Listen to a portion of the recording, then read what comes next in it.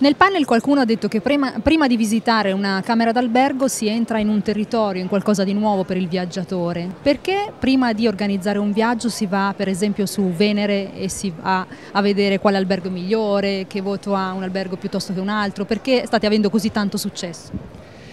Perché di fatto quello che noi permettiamo a un potenziale cliente è quello di fare una scelta un po' più mirata evitando, evitando un po' le sorprese. Eh, praticamente entrando su un sito di un intermediario invece che direttamente su un sito di un albergo,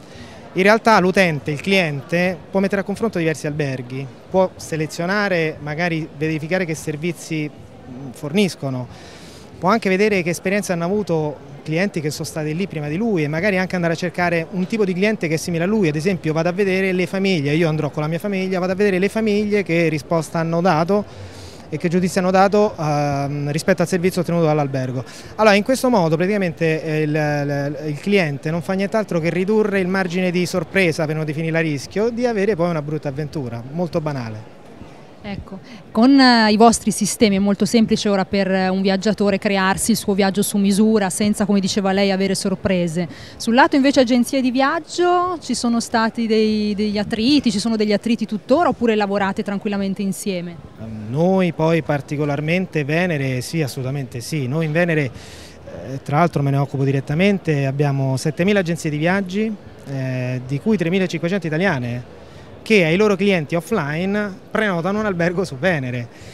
Ma questa è proprio una scelta di Venere, noi sappiamo esattamente che ci sono delle persone che amano rivolgersi all'agente di viaggio, sempre per non trovare brutte sorprese, invece di avere un dialogo con un oggetto online, preferiscono andare da una persona che gli dice guarda ti consiglio questo albergo piuttosto che quest'altro.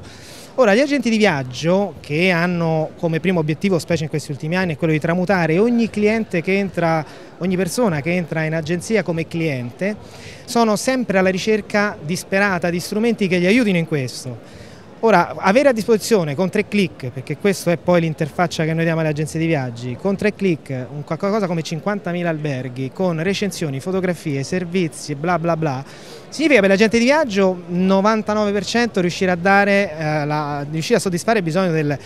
del singolo individuale cliente che gli entra indipendentemente dal profilo che questo cliente ha. Quindi noi non solo non, non, siamo nemici, non vogliamo essere nemici e non consideriamo nemici delle agenzie di viaggi, proprio al contrario, per noi sono degli importanti alleati, sono la nostra estensione sull'offline.